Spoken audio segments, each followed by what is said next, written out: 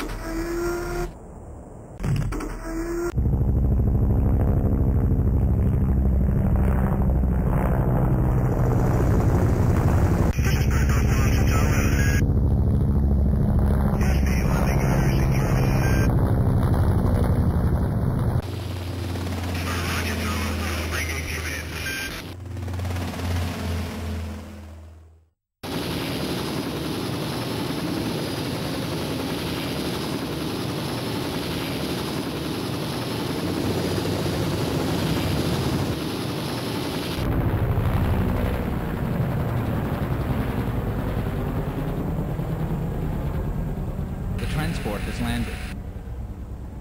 That's it. We're done. Move it out.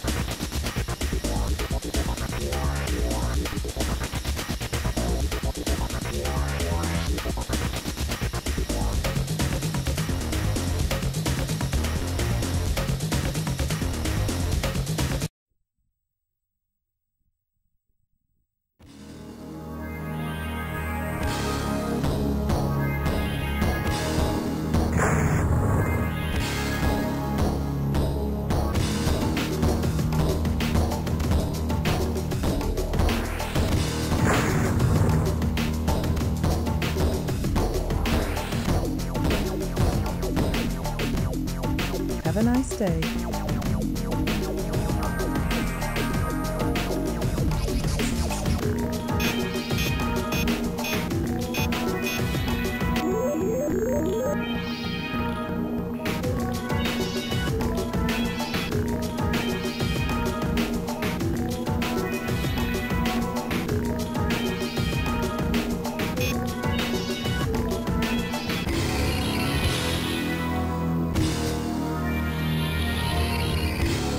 Have a nice day.